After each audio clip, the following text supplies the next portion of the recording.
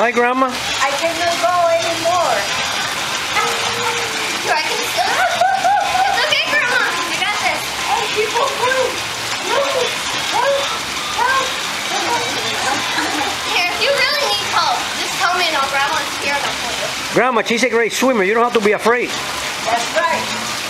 She will take care of me. She'll save you.